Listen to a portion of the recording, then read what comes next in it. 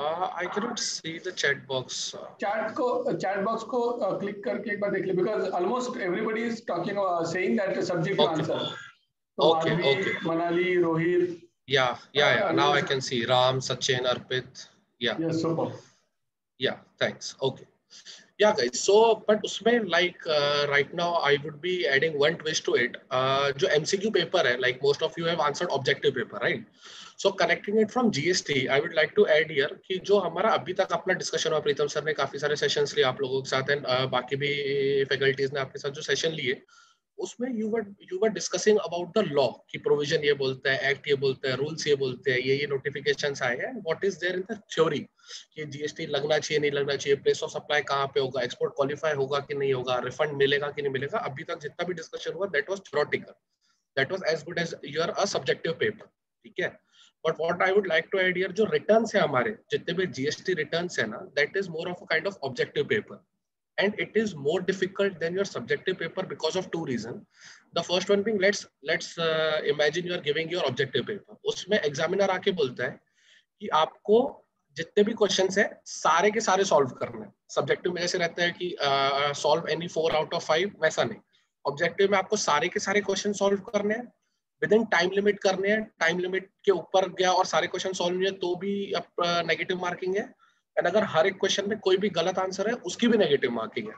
So then if these are the conditions then im- i just uh, you know i think it would be more difficult for all of you objective देना है क्या? फिर because time limit भी आ गया हर एक answer भी करना है और हर एक करेक्ट आंसर भी करना है नहीं तो नेगेटिव मार्किंग है right in the same way जो जीएसटी रिटर्न्स डिज़ाइन किए गए जो GST returns as on date applicable है, उसमें भी एज इट इज़ है, कि हर एक रिटर्न टाइम से फ़ाइल करना है करेक्ट रिटर्न फ़ाइल करने हैं बिकॉज़ आपने अगर टैक्सेबिलिटी डिसाइड कर लिया लीगल प्रोविजंस के through but then next step ये आता है कि उस उस पर्टिकुलर ट्रांजेक्शन को करेक्टली अपने रिटर्न पे रिपोर्ट करना। बिकॉज़ अगर वो करेक्टली रिपोर्ट नहीं हुआ दैट मीन्स जितनी भी मेहनत की थी टैक्सेबिलिटी डिसाइड करने में या आईटी से मिलेगा कि नहीं मिलेगा, उसके बारे में रिसर्च करने के लिए, वो सारी वेस्ट हो गई बिकॉज़ रिटर्न में ही अल्टीमेटली आपको रिपोर्ट करना है। फ़र्स्ट थिंग सेकंड अगर रिटर्न टाइम से नहीं जा रहे तो रिटर्न टाइम से नहीं जा रहे तो वापस late fee and interest applicable है। अगर रिटर्न आपका गलत जा रहा है तो वापस late fee and interest and penalty applicable है। So returns are your most complex uh, you know most complex done in gst regime because each and every should be 100% correct उसमें ऐसा नहीं रह सकता कि थोड़ा रिटर्न गलत गया है तो चलेगा क्या? बिकॉज़ पे 100% एक्यूरेसी चाहिए नहीं तो क्या क्या इम्प्लीकेशन हो सकते हैं will be obviously covering in the end ठीक है सो अपना now let start with the whole session कि what is the meaning and importance and what are the different legal provisions surrounding around it just a second i guess there is something in chat okay thanks abhijit yeah let's move ahead yeah so first what is meaning of returns uh, so i would like to ask all of you like more, forget about gst return you would be like working in some of you would be working in income tax some of you would be maybe also doing cs and also company company की compliances रहते हैं जो mca की compliances रहते हैं so returns are something which is not new new in gst regime returns are something जो चले आ रहे हैं पहले सर्विस टैक्स में भी रिटर्न रहता था ऑल्दो तब छह महीने में एक रिटर्न रहता था इनकम टैक्स में रिटर्न रहता है क्वार्टरली रिटर्न्स रहते हैं अपना टीडीएस के रिटर्न्स रहते हैं देन एमसी के कंप्लायंसेस में भी रिटर्न्स रहते हैं so all across the globe कोई भी टैक्स रिजिम में या कोई भी अपना कंप्लायंस रिजिम में returns are the form of communication where we as a taxpayer communicate it with the government these are the transactions which have been you know undertaken by us so this is the form of return then apna coming to see uh, so what is return return is basically a document containing details of your income and expenses prima facie although there are different kind of return जिसमें अलग अलग details रहती है but basic understanding of return which you guys can understand is return is a document containing details of my sales as a tax payer and my purchase which I am giving it to the government कि पिछले एक महीने में depending पिछले महीने में, तीन महीने में, एक साल में, मेरे ये ये ट्रांजेक्शन मैंने किए हैं, ये उसकी समरी है, ये उसकी डिटेल्स है, जो मैं आपको एक फॉर्मल डॉक्यूमेंट में विच इज़ कॉल्ड रिटर्न में आपको टैक्स अथॉरिटीज को जमा कर रहा हूँ। So that can be a layman example of what is GST return coming to GST return see GST return जो रहते हैं बेसिकली उसमें किस किस टाइप की इन्फॉर्मेशन इंक्लूड रहती है? सो एज अ बिजनेसमैन मेरे जितने भी मैं परचेजेस कर रहा उसके लिए डिटेल्स उसमें रहती है। उसके ऊपर मेरे जो वेंडर्स हैं, उन्होंने जो जो जीएसटी मेरे को लगा के दिया आज की तारीख में see except few few few commodities अपना पेट्रोलियम हो गया डीजल हो गया एल्कोहल हो गया, वो सब छोड़ के बाकी सारे यू नो ट्रांजेक्शन में जीएसटी एप्लीकेबल है। तो मेरे जो जो परचेजेस है, मेरे को ऑफ़िस का रेंट देना है, मेरे को अगर मैं और किसी वेंडर्स को पेमेंट कर रहा तो जितने भी मेरे परचेज लोग हैं मेरे को जीएसटी लगा के दे रहे हैं। तो मेरी इनवर्ट सप्लाईज की सारी डिटेल्स मेरे को जीएसटी रिटर्न पे डालनी है। देन मेरे जितने कस्टमर्स है मैं उनको जब जब सेल कर रहा, उसके ऊपर मैं जीएसटी लगा रहा तो जो सेल वैल्यू है जीएसटी वैल्यू वो मेरे आउटवर्ड सप्लाईज हो गए, और मेरे टैक्सेबल सप्लाईज हो गए। उसकी रिटर्न की, उसकी डिटेल्स मेरे को रिटर्न पे डालनी है। Then broad view, what could be, you know, different baskets in which information in returns can be classified. So, the first one is कि जो मेरा outward supply, जैसे डिस्कस किया, जो मेरा सेल साइड है, वो कवर हो जाता है। देन जो मेरा इनवर्ट साइड है, जो मेरे परचेजेस है, वो रिटर्न्स पे कवर हो जाते हैं। Then जो RCM के transactions so I guess most of you would be aware about RCM but uh, still I would touch base upon it so what is RCM basically जहाँ government आपको बोलती है जो जो uh, you know in most of the cases जो जो unorganized sector रहते हैं जहाँ पे वहाँ पे ये एप्लीकेबल रहता है जहाँ गवर्नमेंट बोलती है एज अ परचेजर अगर मैं किसी कोई गुड्स या सर्विसेज़ अगर किसी से प्रोक्योर कर रहा हूँ तो गवर्नमेंट मेरे पास आती है बोलती है कि ठीक है आप प्रोक्योर कर रहे हो जनरल किसी में क्या रहता है आपको वेंडर आपका जीएसटी चार्ज करके देगा, आप लेट से सौ रुपए का मैं सर्विस लेगा ठीक है? सौ पे अठारह परसेंट जीएसटी लगा। तो जनरली क्या रहता है, मैं अपने वेंडर को सौ प्लस अठारह, एक सौ अठारह रुपए दूँगा एंड देन अठारह रुपए का आईटीसी ले लूँगा करेक्ट बट आरसीएम की केसेस में क्या रहता है गवर्नमेंट कम्स एंड से कि नहीं, एक काम करो जीएसटी आप अपने प्रोक्योरमेंट में, आप अपने परचेजेस में जीएसटी खुद पे करो। तो अगर आप अपने वेंडर को 118 देते थे ना पहले तो एक काम करो, आप सौ रुपए सिर्फ़ दो अपने वेंडर को और जो अठारह रुपए जो जीएसटी कंपोनेंट है ना वो डायरेक्टली आप गवर्नमेंट को दे दो। तो वो आपको क्रेडिट मिल जाएगा बट जो आपकी लाइबिलिटी है ना वो instead of giving it to the vendor directly आप अपने गवर्नमेंट को दे दो ठीक है? तो so, ये जो आरसीएम की डिटेल्स है जनरली कहाँ कहाँ पे एप्लीकेबल रहती है? अगर जहाँ मेरी ट्रांसपोर्ट की सर्विस ले रहा अपना एडवोकेट की सर्विस ले रहा जहाँ इम्पोर्ट ऑफ़ गुड्स या इम्पोर्ट ऑफ़ सर्विसेज़ हो रहा जनरली आरसीएम वहाँ वहाँ पे एप्लीकेबल रहते हैं। तो ये सब सिनेरियो मेरे जो जो आरसीएम की ट्रांजेक्शन है, जितना भी आपको पता है, अपना जीटीए के ट्रांजेक्शन हो गए लॉयर के ट्रांजेक्शन हो गए जहाँ स्पॉन्सरशिप वगैरह रहती है डायरेक्टर की फ़ीस डायरेक्टर की सर्विसेज़ रहती है तो ये सब सिनेरियो आरसीएम जो ट्रांजेक्शन रहते हैं सर्टन गुड्स रहते हैं तो ये सब आरसीएम की ट्रांजेक्शन की डिटेल्स भी मेरे को अपने रिटर्न पे गवर्नमेंट को देनी पड़ती है। ठीक है? सो अगेन uh, जैसा डिस्कस किया था इन जीएसटी अभी तक जो जो आप लोगों ने देखा आपने एक्ट देखे आपने एक्ट पढ़ा होगा सीजीएसटी एक्ट आईजीएसटी एक्ट पढ़ा होगा उसके रिगार्डिंग जो रूल्स है अमेंडेड रूल्स है पार्ट ए पार्ट बी है वो पढ़ा होगा। देन मल्टीपल नोटिफिकेशन आए सर्कुलर्स आए एफ़ आए गवर्नमेंट के साइड से but that is again all in theory because that is an open ended thing उसमें काफ़ी सारी चीज़ें कवर होती है and that is not all of this acts and rules and notifications circulars are not your business specific these are the you know generic provisions which are published by the government कि भाई ये ये अपना law of the land है you need to follow this law correct but then what is warfare so warfare is something which is really critical so in our gst thing warfare is basically your returns returns is specific to your company that this is the return document जो मैं as a taxpayer मैं as a business government को submit कर रहा जिसमें मेरी सारी details है कि मैंने बरोबर अपना एक्ट के प्रोविजंस और जो रूल्स के प्रोविज़न है रिलेवेंट नोटिफिकेशन है उसको कंप्लाई प्रॉपरली किया है कि नहीं किया है अलॉन्ग विद न्यूमेरिकल वैल्यूज़ तो ये मैं अपना गवर्नमेंट को सबमिट करता that's my return are really critical here then coming to importance so this uh, you would have uh, seen. So returns are so critical and so time bound ki returns ke aapne suna होगा? कि GST की जो due dates रहती है typically 11 तारीख जो GST R one की रहती है 20 तारीख जो थ्री बी की रहती है those are really critical so there is you know joke कि अगर अगर शादी करनी है तो 11 से 20 तारीख के बीच में मत करो, उसके बाद ही करो because of you would be, you know, working in a, most of you would be working in a CA office, or some of you are also CA so you would be knowing the importance of GST returns, because ये अपना time bound रहता है कि due date है due date से अगर एक minute, रात के अगर 12 बजे की डेडलाइन है बारह बज के दो मिनट, अगर लेट से 20 तारीख को जीएसटीआर आर भी भरना है, वो बारह बजे की जगह बारह बज के दो मिनट पे गया तो भी interest and late fee is applicable right so that is why it is recommended that GST return are really critical and that's why every tax professional और every professional is working in you know GST compliances treat it such way कि अपना कुछ भी हो जाए GST return अपना सबसे top priority है, वो टाइम पे लगाना है। ठीक है? So coming to GST it's a self assessment tax so यहाँ पे क्या रहता है? It's a self assessment tax मतलब गवर्नमेंट बोलती है कि GST is a self assessment tax means कि as a government we are trusting on the tax payer कि आप एज अ टैक्स पेयर खुद ही कैलकुलेट करो कि आपकी कितनी जीएसटी लाइबिलिटी आनी चाहिए, आपको कितना इनपुट टैक्स क्रेडिट मिलना चाहिए, आपके ऊपर कितना इंटरेस्ट लगना चाहिए, कितना लेट फ़ी लगना चाहिए all that so GST starts with self assessment tax government बोलती है कि हमको आपके as a tax payer we believe on you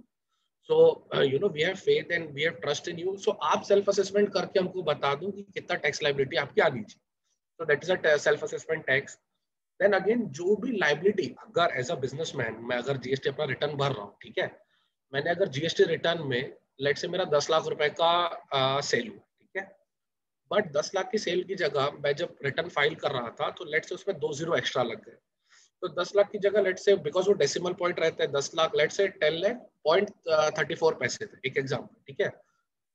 but जब मैं रिटर्न फ़ाइल कर रहा था तो वो पॉइंट हट गया। तो वो क्या हो गया? दस लाख की जगह डेसिमल पॉइंट हट गए तो वो हो गया एक crore and thirty four rupees ठीक है? तो अब अगर एक करोड़ रुपए हो गया है तो गवर्नमेंट क्या बोलेगी? सॉरी दस लाख की जगह वो ये हो जाएगा, दस करोड़ हो जाएगा सॉरी तो गवर्नमेंट क्या बोलेगी कि जो एक करोड़ है Sahil you only told us कि एक करोड़ रुपए आपका दस करोड़ रुपए आपकी जीएसटी लाइबिलिटी आपने जो रिटर्न भरा है उसमें आपने बोला है सेल्फ असेसमेंट किया कि आपकी दस करोड़ की जीएसटी लाइबिलिटी आनी चाहिए राइट उसके बाद मैं ये नहीं बोल सकता कि नहीं नहीं मेरे से रिटर्न गलती से भरा गया वो मैंने मेरा ये मतलब नहीं था अपना यू you नो know, मेरी दस लाख की लाइबिलिटी होनी चाहिए गलती से मैंने दस करोड़ भर दिया। तो GST is self assessment tax government बोलेगी कि आपने हमको खुद बोला ना हमने आपको बोला था सेल्फ असेसमेंट टैक्स कर लो आप बताओ कितनी लाइबिलिटी आनी चाहिए। आपने खुद बोला कि मेरी दस करोड़ की लाइबिलिटी आनी चाहिए। तो now you are liable to pay ten crore. And अगर आप नहीं देते हो तो जो रिकवरी प्रोसीडिंग्स है, अपना सेक्शन 73 है सेक्शन 74 है सीजीएसटी एक्ट में तो वहाँ रिकवरी प्रोसीडिंग्स लग जाएगी। Government then can recover that amount ten crore rupees amount from me and उसके क्या क्या वेज रहते हैं? अपना बैंक अकाउंट जो है, वो प्रोविजनली अटैच हो सकता है। मेरी अगर कोई इमोरल प्रॉपर्टी है, मेरी अगर यू नो फैक्ट्री है, मेरी कोई बिल्डिंग है, उसको अपना, उसको सीज कर सकते हैं। मेरा बैंक अकाउंट फ्रीज कर सकते हैं। अगर मेरा कोई कस्टमर है, मेरा कोई डेटर है, उसके पास अगर मेरा कोई अमाउंट पड़ा है तो उसको गवर्नमेंट डायरेक्टली बोल सकता है कि you know you owe let's say you owe two crore rupees to Sahil तो तू साहिल को नहीं देखे डायरेक्टली हमको दे दे बिकॉज़ उसको जीएसटी लाइबिलिटी उसकी इतनी इतनी आ रही है। तो मेरे स्टॉक्स वगैरह सीज कर सकते हैं। So there are multiple ways in which the government can recover that GST amount with me तो इसके लिए what is important given that returns are so critical it is really important to you know review it twice thrice before filing because अगर एक बार file हो गया so you cannot change और revise the return so till now unfortunately government ने ये option दिया ही नहीं है कि जहाँ पे आप अपना रिटर्न यू नो कैंसिल कर सकते हो डिलीट कर सकते हो. एक बार फ़ाइल हो गया तो हो गया. That is irreversible decision you cannot change the return you cannot modify the return there are certain things which you can amend will be which will be discussing later in the slide but prima facie once return is file you cannot change most of the things in that so revision और cancellation thing is not as on date is not available in the portal. But, given the covid situation we all of us can hope that maybe government comes up with some sort of revision or you know some uh, some sort of relaxation jahan pe as a taxpayer we can amend or revise our returns. But as on today uh, there is no such facility so that's why it is really critical that returns are thoroughly checked and then filed. See so coming back to this uh, so why returns are this critical? Because uh, you know it, returns don't lie see if if I actually tell you so अगर मेरे को कोई भी business अगर मेरे को so most of you could be from business family तो अगर मेरे को आप में से किसी का भी अगर बिज़नेस समझना है तो उसके लिए मेरे को ज़्यादा कुछ नहीं चाहिए। मेरे को सिर्फ़ और सिर्फ़ सेल साइड के इन्वॉइसेस चाहिए एंड परचेज साइड के इन्वॉइसेस चाहिए राइट उसमें क्या होने वाला है? जो जो मेरे सेल साइड के इन्वॉइसेस है, मेरे को समझ जाएगा कि अच्छा मेरे किस किस टाइप के कस्टमर है, मैं कौन से रेट में मार्केट में सेल कर रहा, कौन सी जोग्राफी में सेल कर रहा। एंड देन मेरे जो परचेज साइड के इनवॉइसेस है मेरे को समझ जाएगा अच्छा अगर for example if I am trading if I am in trading business और मेरे को अगर परचेजेस के इनवॉइसेस पता है तो अच्छा मैं किधर से परचेस कर रहा क्या रेट में परचेस कर रहा कितने दिन में डिलीवरी हो रही है यू you नो know, कौन कौन से मेरे कितने ऑप्शन है मेरे पास वेंडर्स के तो ये सब अगर मेरे पास डिटेल्स है किसी भी बिज़नेस की it could be trading business it could be manufacturing business it could be service sector but अगर मेरे पास किसी भी बिज़नेस की ये इन्फॉर्मेशन है कि उसका सेल साइड क्या बोल रहा है कितने इन्वॉइसेस है कितने रेट में बेच रहे हैं एंड परचेज साइड क्या बोल रहे हैं? परचेज साइड में अपना कितने कितने मेरे पास ऑप्शन है? क्या नेगोशिएशन चल रहे हैं? डिफरेंट डिफरेंट वेंडर्स कितने रेट लगा रहे हैं? अगर मेरे पास ये सारी की सारी इन्फॉर्मेशन है then it becomes really easy for me to understand each and every business कि उसमें whether can I enter in that business या उसकी क्या profitability है? या फिर यू you नो know, उसका क्या स्कोप है फ्यूचर चल के? अपना फ्यूचर में ग्रोथ होने वाली है नहीं होने वाली all those things so that is why अपना रिटर्न्स में जो भी हम लोग इन्फॉर्मेशन डाल रहे हैं that should be confidential because अगर अगर आपके साइड से अगर आप रिटर्न भर रहे हो और अगर वो you know apart from government और किसी आपके कंपटीटर के पास भी अगर वो रिटर्न की फ़ाइल चले जा रही है या अगर आपका सेल्स रजिस्टर परचेज रजिस्टर चले जा रहे हैं so that could lead to a disaster because उसमें सारी की सारी डिटेल्स है एंड अगर वो डिटेल्स कुछ भी चीज़ें यू नो एनालाइज करना is really easy So then coming to the part that, uh, you know, how the authorities, like how the government is analyzing your.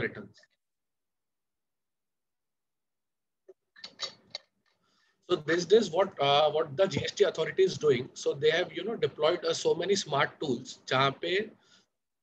uh, जहाँ पे they have you know started analyzing whole of the returns कि जो जो हम लोग returns लगा रहे हैं as a taxpayer now. So they have started analyzing those returns through smart analytical tools. Like uh, they don't gather our data in Excel and then you know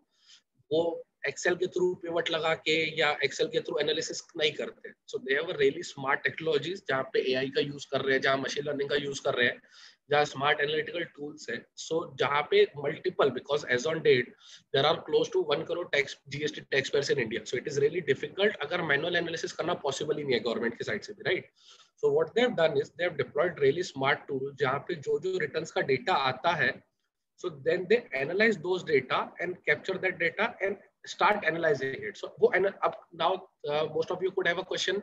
you analyze karke fir milta kya what is the you know final outcome of that analysis so i would like to share here ki wo jo analysis rehta hai after doing that analysis no uh, the government can understand कि अच्छा मेरे को आगे चल के कितना revenue आने वाला है बिकॉज़ फॉर एग्जांपल लेट्स से अगर बिज़नेस है उसका टिपिकली हर एक मंथ सेल बढ़ रहा है बिकॉज़ यू नो हर एक बिज़नेस की ट्रेजेक्ट्री रहती है। आप लोगों ने अपना इंटरमीडिएट में भी पढ़ा होगा कि हर एक बिज़नेस की साइकिल रहती है, जहाँ पे वो ग्रो कर रहा है देन कॉन्सेंट हो गया देन उसका डिक्लाइन हो रहा है एंड देन डेथ हो रही है right so in the same way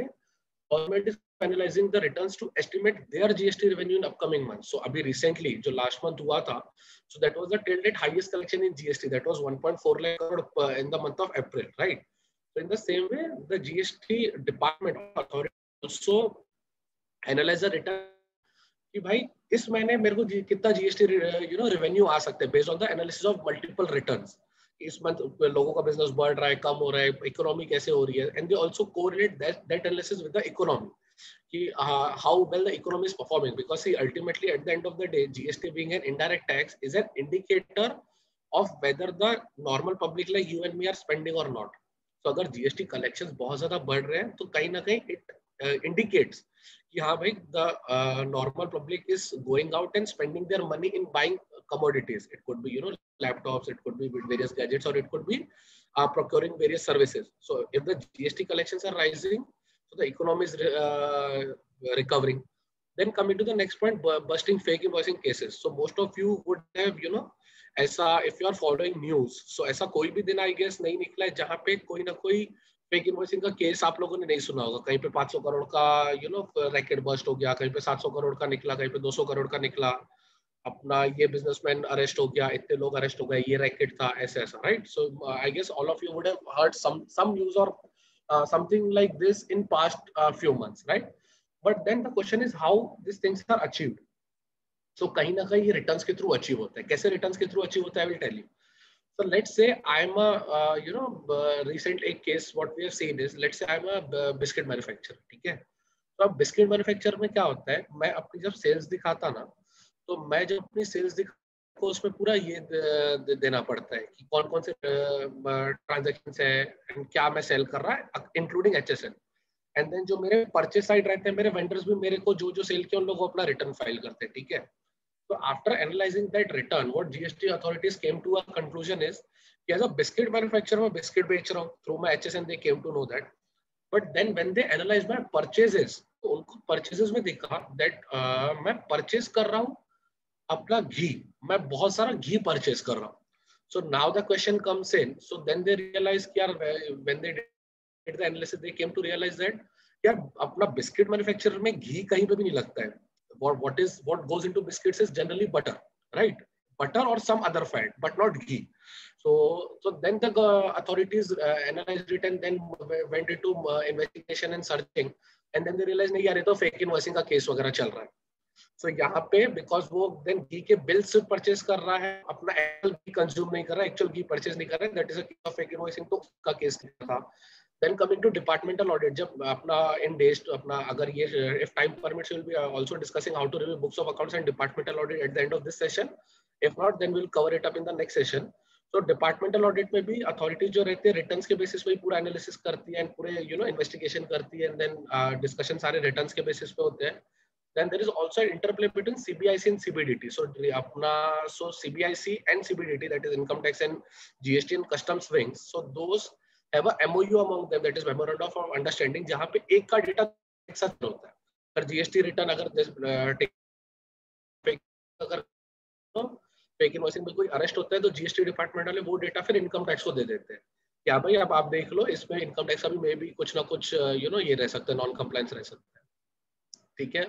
Let's move into the next bit so what, what is this slide mean? So now right now what government is trying is कि government wants the data on a real time basis returns की जो generally periodicity रहती है ना ये पर month की period generally per month periodicity रहती है कहीं केसेस में क्वार्टरली और एनुअली रहती है but generally it is a uh, monthly uh, exercise but now the, what government is saying they want data more quickly more on a real-time basis so that's why what government is doing you would have heard about e-invoicing qr code and e bill so these three things are the arsenal of the government where they're trying to gather data instantly What is e-invoicing agar main koi business hu आप मेरे customer हो, मैं आपको अगर कोई भी good cell कर रहा है सर्विसेज़ दे रहा और अगर मेरा जो टर्न टर्नओवर है वो सर्टेन थ्रेशोल्ड से ऊपर है so currently that threshold is 50 crore starting from first of April 2021 अगर मेरा पिछले किसी भी साल में टर्नओवर 50 करोड़ से ऊपर है so what government is saying कि तुम अपने कस्टमर को, जो तुम्हारे रजिस्टर्ड कस्टमर है जीएसटी जिस, जिनके पास नंबर है, या तो जो तुम्हारा एक्सपोर्ट ट्रांजेक्शन है उनको जब भी तुम सप्लाई कर रहे हो ना तो उनको डेटा देने से पहले तुम मेरे को डेटा दो ई इनवॉइस फॉर्मेट में so that is real time data then what government is saying QR code B2C transaction. So for uh, for example, let's say Big Bazaar is an example or Pantaloons could be an example. जिनका turnover let's say साल भर में पिछले किसी भी साल में 500 करोड़ से ऊपर है so what government has said कि आपको बी टू सी ट्रांजेक्शन जहाँ पे भी आपके है मतलब for example let's say if I am going to Big Bazaar और डीमार्ट ठीक है मैं वहाँ पे जो इनवॉइस ले रहा हूँ government is saying to DMart कि आप जो इनवॉइस प्रिंट कर रहे हो ना, उसमें ही एक क्यूआर कोड डाल के दो, जिसमें कि अगर मैं अपने फ़ोन से किसी भी यूपीआई वेबसाइट को भी Paytm Google Pay PhonePe anything अगर मैं उसे स्कैन करूँगा तो डायरेक्टली पेमेंट ऑप्शन आ जाना चाहिए कि लेट से पाँच हज़ार का बिल हुआ, दो हज़ार का बिल हुआ whatever it could be but Q R code is also being propose जो ऑलरेडी पिछले साल से चालू हो गया बट उसमें कुछ रिलैक्सेशन दी गई है and it would be again starting from first of July ठीक है? Then coming to e way bill e way bill also something जहाँ पे रियल टाइम पे डेटा हो रहे कि नहीं हो रहे कौन से पॉइंट ए से पॉइंट बी हो रहे कहाँ पे रुक रहे हैं all those thing e way bill generate करना पड़ता है इवन इन केसेस जहाँ पे मैं सेल नहीं भी कर रहा। लेट से मैं महाराष्ट्र में बैठा हूँ और मेरी एक फैक्ट्री महाराष्ट्र में एक फैक्ट्री गुजरात में ठीक है? या let's make it more simpler मेरी महाराष्ट्र में ही दो फैक्ट्री है। एक अपना लोनावला में है एंड देन एक मेरा पिरनगुट में ठीक है? सो so, अगर मैं एक साइड से एक एक फैक्ट्री से गुड्स अगर दूसरे में भेज रहा हूँ although it's not a sale also but still government is कि अगर मूवमेंट ऑफ़ गुड्स हो रहा है तो आपको ई देना है। Same example is also applicable in case of job work so कि अगर आप जॉब वर्क के लिए गुड्स भेज रहे हो और also it's not a sale but still आपको ई जनरेट करना है to you know to give the details of movement of goods तो the government is wanting real time data ना now. Coming to apna legal provisions so basically legal provisions are around this uh, so there are multi, around 12 sections around 25 rules regarding gst returns. uh, So those those sections are something like, uh, like this. Section 37 is for outward details. 38 is for in, uh, you know inward details, and then 39 is for uh, general furnishing of returns. That is 3 We will be covering later. Then section 40 is first return. Then ITC provision, matching and ITC. And there is then something called annual return. You must have heard about GSTR 9 and 9C, जो annual return and audit right there. So that that would also be covered here. So these are the types of returns. So coming to the uh, types of returns, so basically uh, there are multiple types of returns, but what is relevant for each and every taxpayer, we will uh, keep the discussion to that only. So first is GSTR 1, then second is GSTR 3B. So what is GSTR 1? GSTR 1 is basically my details of all my sales, all my output supplies. So वो रहता है then GSTR 1 जो रहता है typically 11th of every month. So अभी for example right now we are in the month of May, right? So for the जो मई महीने की मेरी सेल सेल्स रहने वाली है वो मैं नेक्स्ट मंथ की 11 तारीख तक मेरे को रिटर्न फ़ाइल करना है GSTR one that is eleventh of June तक तो वो जीएसटीआर वन की टिपिकली डेट रहती है for normal tax payer but कुछ टैक्स पेयर्स रहते हैं जिनका अगर क्वार्टरली रिटर्न है तो जो Q R M P scheme आपने सुनी होगी जिनका क्वार्टरली रिटर्न है तो उनके लिए ये ड्यू डेट रहती है थर्टीन ऑफ़ अपना thirteen of month of the next quarter. So for example, April May June, ये जो क्वार्टर है April में जून का, so they would be filing that return directly in the month of July, that is 13th of July. Okay, then what is 3B? 3B is basically a summary return of my sales as well as my purchases. ठीक है जहाँ पे मैं सारा अपना outward supplies वापस दिखाता then मेरे को कितना आईटीसी मिलना चाहिए मेरी कितनी आरसीएम लाइबिलिटी होनी चाहिए मेरा कितना फाइनल पेमेंट आ रहा है कुछ इंटरेस्ट आ रही है क्या वो सब दिखाना रहता है and again this is applicable for all uh, almost all the taxpayer except composition taxpayer and then this is uh, the due date of the same is 20th of every month so for example agar going by the same example agar mere ko may month ka 3b bharna hai jahan pe meri sari details रहने वाली sales and purchases की तो May month का जो return है वो मैं भरने वाला ट्वेंटी जून को जैसे that is next month twenty of June but currently just to you know given the COVID situation so for the month of April right now अभी मई चल रहा है तो मई में, में हम लोग अप्रैल का रिटर्न भरते हैं तो currently the government is given the relaxation जो जीएसटी आर वन की डेट है जीएसटी आर वन की जो ड्यू डेट है, वो इलेवेंथ मई की जगह April for the month of April eleventh मई की जगह 26 मई कर दी गई है। And GST R three B में there is no extension of due date but there is you know waiver of late fee and अपना reduce rate of interest for the tax तो अपना अगेन अभी करेंटली ये चल रहा है because government has given certain relaxations in terms of ongoing COVID pandemic Uh, then coming to various other kinds of returns. So one is GST, GSTR4. So GSTR4 is basically for composition taxpayer. So composition taxpayer का I, I guess most of you would be aware. So what is composition taxpayer? मैं government को बोलता है कि यार मेरे को इतना यू नो मेरे को इतना झमेला नहीं करने का है मेरे को सिंपल लाइफ चाहिए जीएसटी कंप्लायंस से तो गवर्नमेंट इज़ सेइंग कि ठीक है आपके आपको जितने भी सेल्स है ना उस पर आप एक परसेंट जीएसटी भर दो और आपको इनपुट टैक्स क्रेडिट मत लो साल भर में एक ही रिटर्न भरना। So that's that is what composition return is तो मैं साल भर में सीधा एक ही रिटर्न भरता जीएसटीआर फोर जिसकी भी ड्यू डेट अभी एक्सटेंड हो गई है। Then coming to GSTR five that is for non registered non resident foreign taxable person रहता है। Then GSTR 6 is generally for input service uh, distributor it is typically you know ये वो सब cases में रहते हैं जहाँ पे मल्टीपल स्टेट्स में मेरा रजिस्ट्रेशन है। एमएनसी कंपनी हो सकती है कोई मैन्युफैक्चरिंग कंपनी हो सकती है जहाँ पे मल्टीपल स्टेट्स में रजिस्ट्रेशन है। ताकि एक जगह centralised input tax credit accumulate कर सके देन बाकी लोगों को अपना यू नो बाइफर्केट कर सके डिवाइड कर सके। उसको इनपुट सर्विस डिस्ट्रीब्यूटर बोलते हैं तो उसके रिटर्न्स जो रहते हैं, उसका जीएसटीआर सिक्स रहता है। देन अपना GSTR seven is generally for government authorities जहाँ पे टीडीएस रिटर्न वगैरह रहते हैं। ठीक है, अपना moving on to next GSTR eight is generally for e commerce operators like जो यू नो अमेजोन हो गया फ्लिपकार्ट वगैरह हो गया, उनके लिए एप्लीकेबल रहता है। देन उसके बाद जो जीएसटीआर नाइन है GSTR nine is typically one of the most critical return GSTR nine is a annual return जहाँ पे मैंने साल भर में अपना पिछले 12 महीने में जितने भी ट्रांजेक्शन किए हैं, उसका उसका समरी फॉर्मेट में गवर्नमेंट को रिटर्न भरना पड़ता है। टिपिकली इसकी जो डेट रहती है so right now we are in 20 पिछला साल जो गया दैट वाज 2021 राइट तो वो 2021 का रिटर्न की ड्यू डेट कब आती है 31 December of the next FY that is 31 December of 2021 में मेरे को पिछले साल का रिटर्न भरना पड़ेगा। ठीक है देन अपना right now we can then move to GSTR nine हो गया। Then ten is for cancellation अगर मेरे को। So right now there was one RTI query जहाँ पे you know the government has the government has declared like or, or replied to an RTI RTI query that since last one year, approx uh, 16 lakh registrations were cancelled or suspended due to non-compliance or due to whatever reason could be, right? So, but government बोलती है कि अगर आपका registration cancel भी हो रहा है तो भी आपको एक final return भर रहा है जहाँ पे आपको अपनी final liability disclose करनी है जितना ITC है उसको reverse करना है and जो भी अगर final payment वगैरह करने है वो आपको बताना है ठीक है so this is what uh, generally the uh, emotions of the taxpayers और द प्रैक्टिशनर्स बिकॉज़ अभी लॉकडाउन चल रहा है uh, जो कोविड uh, सिचुएशन वगैरह चल रही है उसमें काफ़ी सारे टैक्सपेयर्स कंप्लायंस नहीं कर पाते हैं बिकॉज़ uh, जो ये सब सिचुएशन चल रही है। तो इस नाम से you know the taxpayers are always in sense of worry कि यार रिटर्न फ़ाइल होगा कि नहीं होगा कहीं लेट फ़ी तो नहीं लग जाए कहीं पेनल्टी तो नहीं लग जाए। तो अपना So we have covered most of the uh, returns in brief. Obviously, we will be you know covering in detail uh, GST one and 3B का आगे detail में discuss करेंगे. But till now, अगर uh, you know if anybody has any doubt, so we can then take it up. You can write in uh, chat box in case you have uh, you know any doubt. Uh, yeah, Harsha. Uh, so you asking about GSTR 9A. So GSTR 9A is typically, uh, you know, uh, it's an annual return. Again, जैसे discuss किया जो GSTR 9 रहता है वो annual return रहता है normal tax payers के लिए बट जो GSTR 9A रहता है those are for composition tax payer जिन्होंने कंपोजिशन स्कीम ली है जिनको यू नो एक परसेंट सिर्फ़ जीएसटी एप्लीकेबल रहता है तो उनको जो एनुअल रिटर्न भरना रहता है दैट इज़ कॉल्ड नाइन है and 9c is a gst audit so what is nine difference between there is a slight difference between 9 and 9c जो जीएसटीआर 9 रहता है वो टैक्स पेयर्स को खुद बनाना रहता है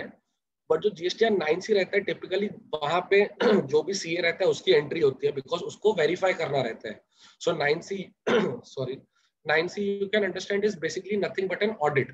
so GST N nine C is a audit done by a CA for the businesses कि जो जो आपने साल भर में कंप्लाइंसेस की और जो जीएसटी आर नाइन में आपने एनुअल रिटर्न भरा है, वो सब जीएसटी के परस्पेक्टिव से hundred percent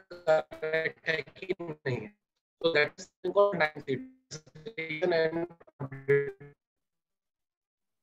Yeah, there is a uh, turnover limit GSTR 9 that is uh, you know 5 crore uh, rupees and also 9C जो है so GSTR 9C has uh, has been uh, removed by the government. Uh, Sahil. Yeah, so difference between two 9C's uh, certification yes. by chartered accountant only revoked. Now the self certification is there. Yeah. Yeah, yeah, yes. Sir. Yeah, so GSTN 9C has been removed. Uh, now, so instead of us uh, CA, uh, CA verifying the books and then giving his opinion, the government has said that now the companies can give it, apna, uh, you know, do it by themselves only. ठीक है अपना now we can move on to next slide whatever uh, you can keep on posting your doubts we can uh, you know take it up uh, at, at the end of the session so then coming to ITC 04 so these are the typically uh, uh, interesting kind of returns जहाँ पे what is ITC 04 So most of you would uh, know about you know job work uh, job work provision. So what is uh, job work? As a principal मैं अपने goods जो है और किसी को भेज रहा हूँ जहाँ पे वो मेरे गुड्स के ऊपर कुछ ना कुछ काम करके मेरे को वापस भेज रहे हैं ठीक है तो what is ITC zero four the government is saying to the principal कि आप पिछले क्वार्टर में जितने भी अपने गुड जॉब वर्क को भेजे और जितने भी गुड्स आपके जॉब वर्क कर रहे आपको वापस भेजे ना उसकी डिटेल्स चाहिए गवर्नमेंट को which is typically in the return called ITC zero four then what is ITC zero two अभी आपने देखा होगा, काफ़ी सारे मर्जर्स होते हैं एक्विजिशन होते हैं सेल हो जाते हैं बिज़नेस का। तो वहाँ पे जो भी जो एंटिटी मर्ज हो रही है ना, उसको उसको रिटर्न भरना पड़ता है something called which is called ITC zero two जहाँ पे वो अपने आईटीसी की ये दे रही है। यू नो जहाँ पे अपना आईटीसी की जो डिटेल्स है, जो मेरे सारे जीएसटी के ITC as on date balance पड़ा है, उसके मैं सारे ये देता गवर्नमेंट को रिकॉर्ड सबमिट करता। सॉरी या and then CMP is again you know CMP eight is again for the composition scheme जहाँ पे उसको अपने टैक्स पेमेंट करनी रहती है। So most of you would be thinking that there are so many returns So this this may be something which most of you could relate with.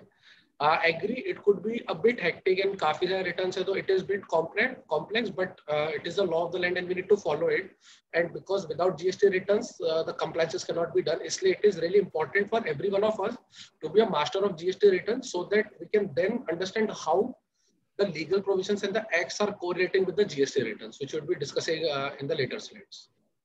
So see now we would be discussing so ये जो अभी GST return चल रहा है जो typically one चल रहा है टू बी चल रहा है थ्री बी चल रहा है so this are not the original return which were earlier propose by the government so अपना जब जीएसटी इंट्रोड्यूस हो रहा था एक जुलाई दो हज़ार सत्रह में तो तब गवर्नमेंट ने जो जीएसटी रिटर्न प्रपोज किए थे that that were completely different so will be discussing those return so this is the government यहाँ पे I I am the seller and let's you are the customer so government ने पहले क्या propose किया था कि मैं as a customer GSTR one भरूँगा, जिसमें मेरे सारे के सारे सप्लायर के डिटेल्स रहने वाले हैं। सॉरी जितना मैंने सेल किया है, अपने जो जो कस्टमर को मैंने जो जो सेल किया है ना, उसकी डिटेल्स रहने वाले हैं, ठीक है? तो दैट वाज समथिंग जो जीएसटीआर वन में भरने वाला था। देन उसके बाद जीएसटीआर आपको एज अ कस्टमर आपको जीएसटीआर वन ए मिलता था, जिसमें वन ए में क्या होता था, जहाँ आपको वन ए में जो जो आपकी डिटेल्स है कस्टमर की ना, वो आपको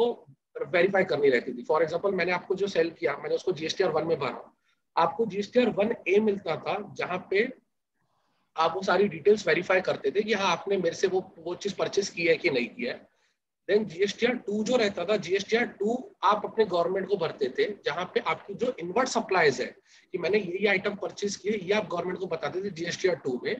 एंड देन मेरे को जीएसटीआर टू है आपने जीएसटीआर टू गवर्नमेंट को भरा कि आपने ये ये परचेजेस किए हैं आपने परचेज किससे किया? मेरे से किया राइट सो देन मेरे को जीएसटीआर टू में भरना पड़ता था जहाँ पे मैं वो चीज़ें वेरीफाई करता था। And also you would be you know surprise to know that उस उस टाइम पे व्हाट वाज सपोज्ड वाज कि मैंने लेट्स आपको सेल किया सौ सौ रुपए में राइट आपके वो डिटेल्स आपके वन में वन ने में दिखेगा। So you can either accept that detail या modify that detail या delete that uh, details कि नहीं आपने you can say कि नहीं हाँ मैंने सौ रुपए का परचेज किया है या लाइक से मैंने 120 का परचेस किया तो उसका मॉडिफाई कर सकते थे, या तो आप डिलीट कर सकते थे, नहीं, मैंने ये परचेस किया ही नहीं है। So this was something which was proposed GST R one then one A then two then two A ठीक है? But unfortunately that didn't you know this scheme of return didn't see the light of the day so इसलिए ये return कभी implement नहीं हुए government से। So what now will then again G S T R three was a compilation of outward details as well as inward details along with payment of tax so this was that system was proposed Now coming to the actual return. So what what happened was actual return में GSTR 2 जो था and GSTR 3 था, दोनों को suspend कर दिया गया because multiple technical glitches थे and the tax payer was also not that tech savvy to do all of this stuff right so what government did was they kept only to एक GSTR one रखा, जहाँ पे मैं अपनी sales की detail बताऊँगा and एक then GSTR three भी रखा, जहाँ मैं सेल्स परचेजेस एंड देन जितना नेट ऑफ़ आ रहा है, उतना मैं पेमेंट ऑफ़ टैक्स करूँगा। तो गवर्नमेंट इतनी स्कीम रखी। So now what is the current scheme will be discussing that as a manufacturer मैं जीएसटीआर वन भरता गवर्नमेंट को आपको GSTR two A and two B दिख जाता। देन जीएसटी मैं अपना गवर्नमेंट को जीएसटी आर थ्री भी भरता, जिसमें मैं पेमेंट ऑफ़ टैक्स करता। So this is what is the current scheme as compared to the earlier scheme. So uh, many many taxpayers and many uh, you know professionals argue till date that if the original scheme would have been proposed, that would have been much better. But nevertheless, this is uh, now we need to you know be well equipped with the current scheme because वो अपने को अभी follow करना right so now let's move on to the detail let's move on to the details uh, so what is gstr1 we'll be discussing gstr1 now in detail so gstr1 is basically everything around my sales only तो as a businessman as a tax payer मैं जो भी अपने customers को cell कर रहा, उसकी उसकी सारी डिटेल्स मैं जीएसटीआर वन में डालता तो जीएसटीआर वन इनवॉइस वाइज रहता है मंथली रहता है अपार्ट फ्रॉम द केसेस जहाँ पे क्वार्टरली है बट टिपिकल ठीक है? उसके बाद what how can I file my GSTR one GSTR one दो मेथड से रहता है, एक मैं ऑनलाइन भी फ़ाइल कर सकता, एक मैं ऑफलाइन भी फ़ाइल कर सकता। तो अपना just to clear the you know perspective so offline does not mean कि मैं कोई फ़िज़िकल फ़ाइल एंड पेपर जाके गवर्नमेंट को सबमिट करूँगा but what is offline is typically preparing those things in a utility that you can understand of utility as an excel file so what offline means is preparing something in the excel kind of a file and then uploading it as a return so that is called, called offline mode of uh, filing of gstr1 we'll be discussing in detail so what is gstr1 gstr1 में मेरे क्या क्या type के details आते हैं so gstr1 में मेरे local sales सारे आते हैं देन मेरा एक्सपोर्ट के अगर कोई ट्रांजेक्शन से वो आते हैं, मेरे को अगर किसी भी कस्टमर से एडवांस मिला है so now it is you know critical to discuss that advances कब एप्लीकेबल हो जाएँगे जब अगर मैं सर्विस प्रोवाइडर हूँ because I guess most of you would be aware कि अगर मैं अपना सर्विस प्रोवाइडर नहीं हूँ बट मैं ट्रेडर या मैन्युफैक्चरर ऑफ़ गुड्स हूँ और मेरे को तब अगर मेरे कस्टमर से अगर कोई एडवांसेस मिलते हैं तो तब टाइम ऑफ़ सप्लाई ट्रिगर नहीं होते गुड्स के केसेस में। एडवांसेस पे जीएसटी एप्लीकेबल नहीं है in case of goods right but if I am service provider let's say you are providing a service of CA या यू आर अ सीए और then और you are providing any digital marketing service और something like that तो वहाँ पे अगर आपको advances मिल रहे हैं तो वो आपको जीएसटी रिटर्न पे रिपोर्ट करने रहते हैं। अलोंग विद अगर कोई पुराना एडवांस मिला उसको अभी आप एडजस्ट कर रहे हो, उसके अगेंस्ट अगर आप अभी आप इनवॉइसेस वगैरह रेज कर रहे हो तो उसकी को डालनी रहती है। ठीक है? Then coming to H S N as we discuss जो मेरे एच एस एन डिटेल्स रहती है, जहाँ पे कि मेरी so H S N is typically right now अभी गवर्नमेंट ने वापस अपडेट लाया था अगर मेरा पाँच करोड़ से यू नो टर्न ऊपर है तो मेरे को six digit H S N is compulsory so H S N is basically harmonize system of nomenclature जहाँ पे मैं अपना कौन से गुड सेल कर रहा हूँ वो किस कैटेगरी में आते हैं कौन से टैरिफ के अंडर आते हैं वो सब डिटेल्स रहती है So HSN detail and SSE, Service Accounting Code, is basically for services. That is a typically six-digit code. So starting 1st of April, every taxpayer whose turnover is above 5 crore needs to, uh, you know, submit the details of H S N N S S ये पहले भी था but तब छह digit और आठ digit नहीं थे तब you can also report four four digit as well but अभी गवर्नमेंट ने कंपलसरी कर दिया कि अभी आठ डिजिट uh, ये करने हैं uh, Arpit is saying that my voice is not audible. Can anybody else confirm if my if my voice is proper? Yes, audible. Okay, ठीक है ठीक है, चलो let's continue then also list of documents issued so GSTR 1 में मेरे को as a businessman मैंने कौन कौन सी इनवॉइस की सीरीज़ अपलोड की है? सो आई टिपिकली अपना यू नो बिजनेसेस की अलग अलग इनवॉइस सीरीज़ रहती है. नॉर्मल सेल की अलग रहती है गुड्स की अलग है सर्विसेज़ की अलग है. इंटर कंपनी अगर कोई रिचार्जेस मार रहे हैं, उसकी सीरीज़ अलग है। तो ये सब सीरीज़ और मेरी आरसीएम के सेल्फ इनवॉइसेस वगैरह है। तो ये सब जो लिस्ट ऑफ़ डॉक्यूमेंट्स रहते हैं सीरीज़ रहते हैं, मेरे डिलीवरी चैनल वगैरह अगर इशू किया जो भी तो उसकी भी सीरीज़ मेरे को गवर्नमेंट पोर्टल पे जीएसटीआर वन में अपलोड करनी पड़ती है। उसकी भी डिटेल्स मेरे को वहाँ पे देनी पड़ती है। Moving on to the next slide what are the different tables in GSTR one so tables in GSTR one मेरे बी के ट्रांजैक्शंस रहते हैं देन मेरे बी लार्ज रहते हैं। So what is B two large for B large there are two condition the first one is कि मेरा जो कस्टमर है अनरजिस्टर्ड जो कस्टमर है, वो इंटरेस्ट रेट रहना चाहिए। फॉर एग्जांपल अगर मैं महाराष्ट्र में बैठा हूँ और अगर मैं गुजरात सेल कर रहा तो ही मैं बी टू सी लार्ज में डालूँगा. दैट इज़ फ़र्स्ट कंडीशन कि मेरा जो अपना you know place of supply रहना चाहिए आउटसाइड स्टेट रहना चाहिए वो इंटरस्टेट ट्रांजेक्शन रहना चाहिए. एंड सेकंड कंडीशन इज़ वो जो अपना ट्रांजेक्शन वैल्यू है जो सिबल वैल्यू है वो ढाई लाख से ऊपर रहनी चाहिए. सो so, ये दो केसेस अगर फुलफिल हो रहे हैं तो ही मैं that transaction qualifies as a B two C large तो अगर वैसा कोई केस है तो इसको बी टू सी लार्ज पे रिपोर्ट करना पड़ता है. देन गोइंग नेक्स्ट मेरे एक्सपोर्ट के जो ट्रांजेक्शन रहते हैं वो टेबल नंबर सिक्स में आते हैं. Then B2C other table number seven is B2C other जो मेरे ट्रांजेक्शन ऊपर कवर नहीं हो रहे B2C लार्ज में जो बाकी सारे ट्रांजेक्शन है, जो कि इंटरेस्ट रेट है एंड इंटरेस्ट रेट है बट ढाई लाख के नीचे है, वो मेरे B2C अदर में कवर होते हैं। देन जो मेरा टेबल नाइन है credit note and debit note वहाँ पे कवर होता है। या सो देन मेरा वहाँ पे transaction credit note debit note cover होते हैं। Then coming to nil rated supply अगर मेरा जो भी एग्ज़ाम सप्लाईज है निल रेटेड सप्लाईज है वो सारे ट्रांजेक्शन को मैं टेबल नंबर एट में टिपिकली कवर करता। ठीक है?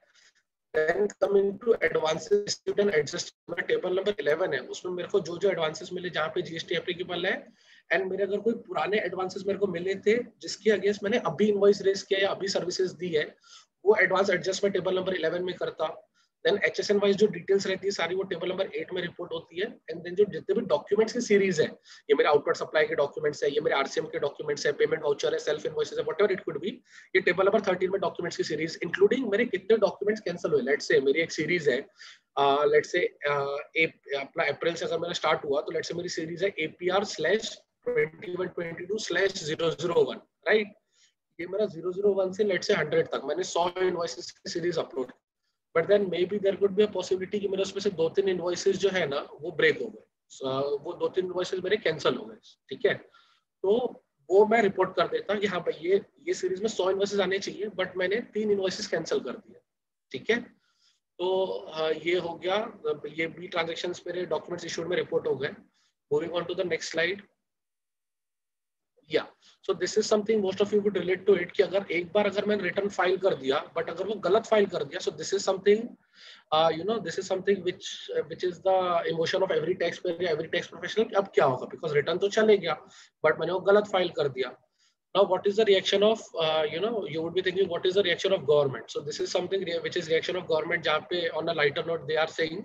यार गलती जो है तुम दो चार बार कर सकते हो ये क्या है पूरे के पूरे रिटर्न तुम्हारे गलत थोड़ी हो सकते दो सौ चार सौ गलतियाँ कैसे की हो so this is again on a lighter note but uh, something which uh, most of us can relate to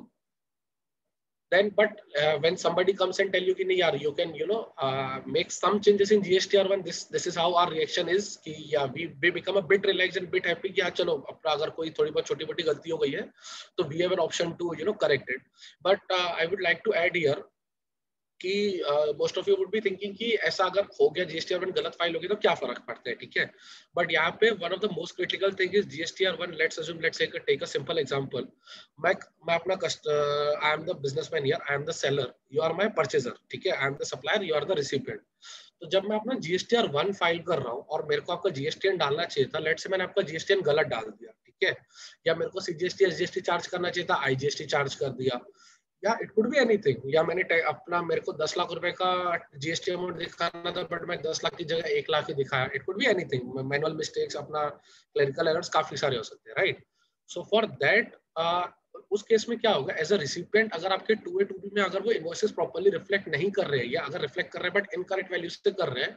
तो then you be losing out the credit on such invoices तो इसलिए it is really critical from a recipient point of view की जो GST उनके supplier भर रहे हैं जो उनके सेलर भर रहे हैं that is hundred percent accurate तो इसलिए government has given some facility और सम बेनिफिट कि अगर जीएसटी मेरा थोड़ा बहुत गलत चले गया है तो उसमें I can amend few details that is called so you all of you should remember this word amendment so government is allowed amend certain of the details. So let's now see ki kaun kaun se uh, type of amendment is allowed. So typically you can there are different boxes for uh, different tables for amendment. Uh, first one is uh, 9a जहाँ पे B2B और B2C large जो था जो ढाई लाख के ऊपर है इंटरेस्ट रेट था उसको मैं अमेंड कर सकता। नाइन ए में अगर मेरी कोई एक्सपोर्ट की डिटेल्स है उसको मैं अमेंड कर सकता। देन मैं क्रेडिट नोट डेबिट नोट को नाइन सी में अमेंड कर सकता। देन मेरे को जो एडवांस रिसीव्ड है दैट इज़ 11 ए एंड मेरे को अगर एडवांस एडजस्टमेंट में कोई ये करना है तो 11 बी हो गया। एंड देन मेरे को अगर कोई अदर एडजस्टमेंट करना है तो बी टू सी हो गया right so if you actually see are only GSTR one भी मैं सारी डिटेल्स अमेंड नहीं कर सकता because if if you actually go back and see तो जीएसटीआर में मेरे जो बाकी टेबल थे, मेरी एच एस एन समरी थी, मेरा लिस्ट ऑफ़ डॉक्यूमेंट्स था, मेरा निल रेटेड सप्लाई था, वो सबको मैं अमेंड नहीं कर सकता। सो बस दोज आर गॉन अपना I cannot go back and revise return और go back and change those details so यहाँ पे इट इज़ रियली इंपॉर्टेंट कि अपना जो भी रिटर्न भर रहे हैं that is double check then उसको थॉरली रिव्यू करके देन वो फ़ाइल कर रहे हैं। So now coming next to ये तो हो गया कि मैं कौन कौन सी यू नो किस किस टाइप के ट्रांजेक्शन अमेंड कर सकता गोइंग टू नेक्स्ट लाइक वो ट्रांजेक्शन के अंदर किस किस टाइप की डिटेल्स में अमेंड कर सकता let's go to that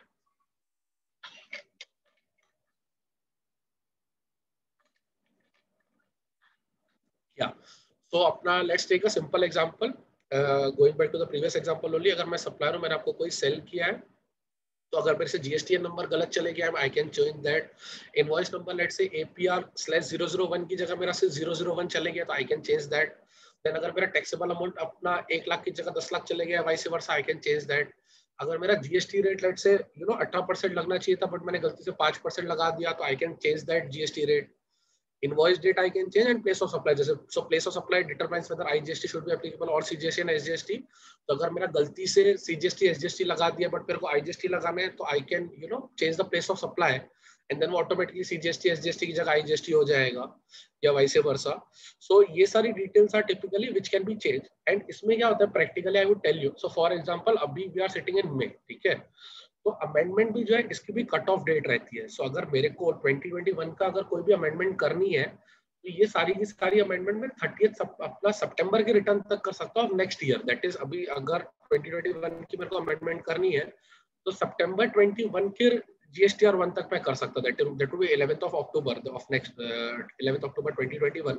but मैं तब तक ही जीएसटी अमेंडमेंट्स कर सकता। So it is again it becomes critical कि typically so what what we do in our clients is March के मंथ में एज वेल एज सितंबर के मंथ में we reconcile the whole year March so March 20 March 21 में we reconcile full 20 20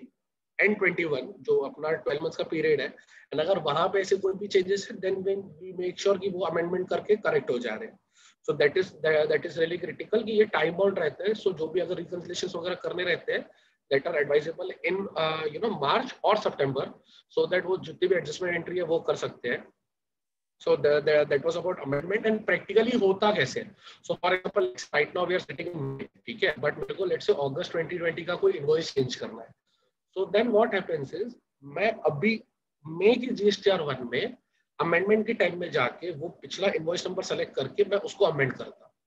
but अपना वो पुराने invoice में जाके चेंज नहीं होता वो इसी करंट मंथ में मेरे को दिखाएगा कि हाँ मैंने वहाँ पे अमेंडमेंट किया है। सो so, अगर in case you want check कि कौन कौन से साल भर में अमेंडमेंट हुए हैं तो then you need to check each and every months return to check किसी प्रीवियस मंथ का अमेंडमेंट उसमें हुआ है क्या। वो अलग से टैब रहते हैं जैसे जो as discuss in this slide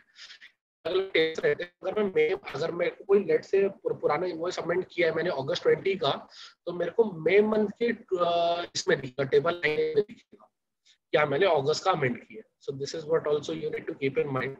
Now moving on next uh, if and uh, so we are through with gstr1 that is output supply. So there we can now we can take up uh, any queries related to gstr1 if anyone of you have any query related to gstr1 uh, we can take that up or else we can move to you know gstr3b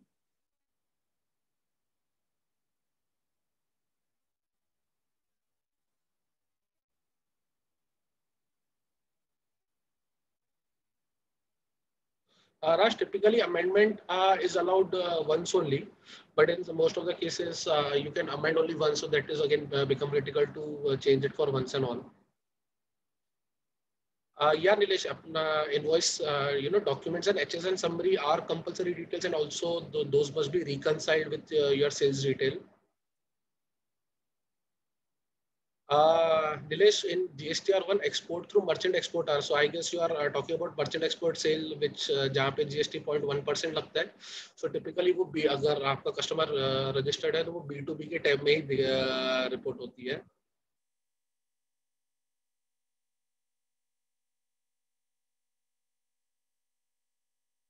Vishnu regarding GST अपना interest in GST R one so typically you don't pay that your GST liability in GST R one तो अगर आपने GST let's say GST R one में आपने गलत report कर भी दिया बट थ्री बी तक आते आते you realise that and if you paid a proper taxes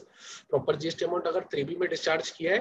then there would be no levy of interest but obviously अगर जीएसटी आर थ्री बी में भी गलत रिपोर्ट रिपोर्टिंग चले गई शॉर्ट रिपोर्टिंग हो गया तो देन यस इंटरेस्ट वुड भी ठीक है I guess now we can move to GSTR three so let's discuss GSTR three so GSTR three is basically summary of my all the transaction जितना मेरा output का transaction है, जितना मेरा invert का ट्रांजेक्शन है एंड देन जो मेरा आरसीएम का ट्रांजेक्शन है, वो सबकी summary is GSTR three B so now let's discuss GSTR three B in detail So uh, GSTR 3B self-declared summary again a self-assessment tax जहाँ पे I declare कि मेरी output GST liability कितनी है मेरा then ITC कितना है. Every registered person is required to file GSTR 3B which is typically 20th of the next month. So जो GSTR uh, 3B है यहाँ पे मेरा जो uh, रिटर्न है यहाँ पे टिपिकली कौन कौन से बास्केट से ट्रांजेक्शन से we can discuss that one is my outward taxable supply जहाँ पे टैक्सेस लग रहे हैं, जो मेरे टिपिकली जो if you want to typically take it as जो मेरे बी टू बी ट्रांजेक्शन है, जो मेरे बी टू सी ट्रांजेक्शन है, ये टिपिकली यहाँ पे आते हैं आउटवर्ड टैक्सेबल सप्लाई में। देन जो मेरे ज़ीरो रेटेड सप्लाई यहाँ पे कौन से ट्रांजेक्शन आ सकते हैं, जहाँ पे मेरा एक्सपोर्ट है, या फिर जो मेरा एस सी सप्लाईज है, ये ज़ीरो रेटेड में आ जाते हैं। देन मेरा जो nil rated non GST exempted supply है, मेरे को अगर कोई इंटरेस्ट इनकम मिल रही है या यू नो या मेरे को अगर कोई रिबेट वगैरह मिल रहा है, मेरे को कोई फाइनेंशियल डिस्काउंट वगैरह मिल रहा है तो वो सब मिल रहे नॉन जीएसटी एग्ज़ाम की, एक ही बास्केट रहती है जहाँ we need to report this transaction तो वहाँ पे आई कैन रिपोर्ट देन मेरे जो भी आरसीएम ट्रांजेक्शन है आरसीएम में मेरा अगर कोई इम्पोर्ट ऑफ़ गुड्स है, मेरा इम्पोर्ट ऑफ़ सर्विसेज़ है, या मेरा कोई लोकल आरसीएम है, जैसे कोई अगर मैं एडवोकेट सर्विस ले रहा जीटीए सर्विस ले रहा, मैं सिक्योरिटी सर्विसेज़ ले रहा तो वो सब केसेस में आरसीएम ट्रांजेक्शन को भी मेरे को थ्री में रिपोर्ट करना पड़ता है but it is again a summary return So we'll be uh, discussing about 3BK. We'll also be seeing the slides. But it's a summary written. यहाँ मेरे को invoice wise detail नहीं रहती देनी रहती है यहाँ पे just I need to punch in the figures कि मेरा total outward supply कितना है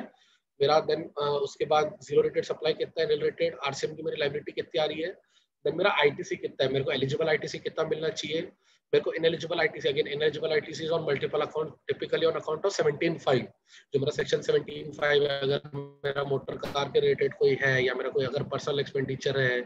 या इमोल प्रॉपर्टी के रिलेटेड कोई एक्सपेंडिचर है तो वो सब जहाँ, वो सब केसेस में जहाँ आईटीसी नहीं मिलता है अंडर सेक्शन 17.5 तो वो मेरे को रिपोर्ट करना पड़ता है मेरे थ्री बी में। देन अगर मेरा रिवर्सल ऑफ़ आईटीसी हो रहा है so again reversal of ITC could be on multiple ground जहाँ अगर मैंने, अगर वेंडर को वन एटी डेज़ में पेमेंट नहीं किया, उसका रिवर्सल है। या मेरा जो रूल 42 एंड 43 है, जहाँ पे यू नो मेरे टिपिकली दोनों सप्लाई मेरे टैक्सेबल सप्लाईज भी एग्ज़ाम सप्लाईज भी है तो उसके वो पर्टिकुलर केसेस में जहाँ आईटीसी कॉमन आईटीसी रहते हैं let's say if I am running a school तो मेरे अपने स्कूल में टैक्सेबल सप्लाई भी एग्ज़ाम सप्लाई भी है तो वहाँ पे टिपिकली ये आ जाता है कि मेरा जो पोर्शन है, वो इनएलिजिबल रिवर्सल ऑफ़ आईटीसी होगा, जहाँ पे जो कॉमन आईटीसी का पूल है तो वो रिवर्सल अंडर सेक्शन 42 हो जाता है। And then interest late fee अगर कोई मेरी है तो वो भी टिपिकली थ्री बी में रिपोर्ट होती है। But again all of this are summary format only यहाँ पे भी just need to punch in the figures not the invoice wise detail invoice wise details हम लोग जीएसटीआर वन में अपनी आउटवर्ड की डालते हैं एंड यहाँ पे सिर्फ़ समरी डिटेल्स रहती है। यहाँ पे typically there are five kind of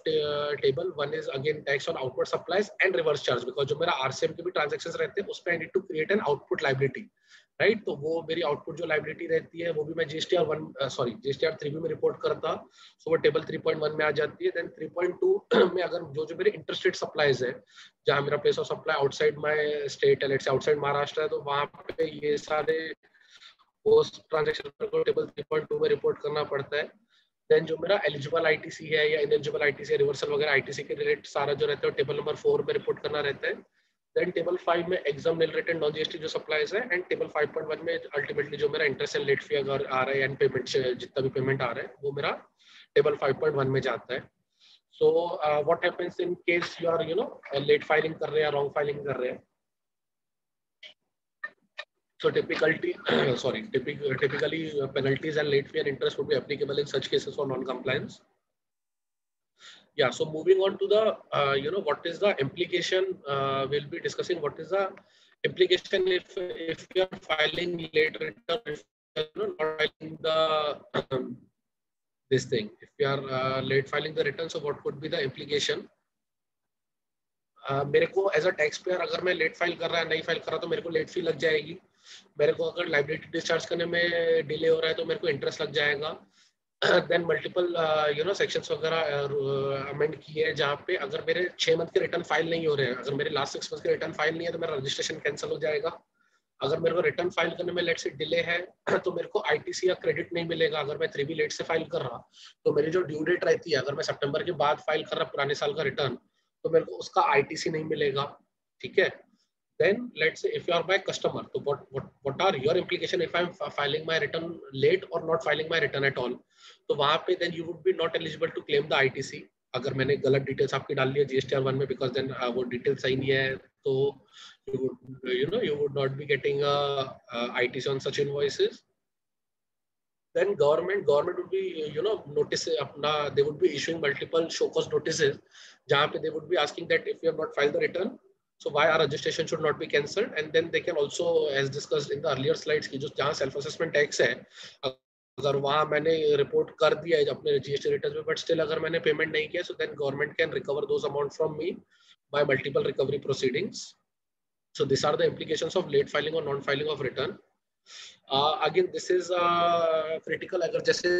we discuss कि अगर मेरा लास्ट रिटर्न है अगर लेट से ये मंथ मेरा जीएसटी रजिस्ट्रेशन कैंसिल भी हो जाता है तो भी गवर्नमेंट इज़ सेइंग कि I need to file a final return कि हाँ मेरे ये final you know output liability इतना मेरा आईटीसी रिवर्सल वगैरह आ रहा है बिकॉज़ तो Uh, ये मेरी जीएसटी मेरे को ये भरना पड़ता है final return GST R ten which is again unfortunate कि अगर मेरा registration for some reason cancel भी हो रहा है तो भी गवर्नमेंट इज़ सेइंग कि आप एक बार तो लास्ट वाला रिटर्न भर के जाइए। So but this is what we need to comply with GST R ten we need to file now अपना कमिंग टू सेक्शन 16 जो बजट में सो so, रिसेंटली जो बजट आया था it is yet to be notified अपना ये अभी तक यू नो इसके रिलेटेड ये ऑफिशियल गेजेट में नोटिफाई नहीं हुआ है but what government has put here is कि एज अ रिसिपिएंट जो सेक्शन 16 में ये चेंज हो गया एज अ रिसिपिएंट मेरे को क्रेडिट नहीं मिलेगा अगर मेरे सप्लायर ने वो डिटेल्स करेक्टली अपने जीएसटी वन में नहीं डाली है। तो ये अभी तक कहीं सेक्शन में, कहीं पे एक्ट में नहीं लिखा हुआ था। इसलिए government you know bought in this change कि अगर मेरा जो वेंडर है, मेरे वेंडर ने अगर करेक्ट रिटर्न फ़ाइल नहीं किया है तो देन ये मेरे को इसका आईटीसी नहीं मिलेगा बिकॉज़ अगर वो मेरे जीएसटी में करेक्टली नहीं दिख रहा है। So this was something related to budget so these are typically what are the reactions of you know uh, suppliers when whenever they are supplying the goods to you so there could be multiple reason jahan unke gstr one agar galat file ja rahe so typically the recipient would not uh, get the credit uh, in someone in the chat box uh, asked about GSTR 3B legality. So GSTR 3B, uh, you know, legality it is validated retrospectively through amendment in Rule 61.5. So you can, uh, you know, ch check that in detail about GSTR 3B legality. Uh, we can move on to next.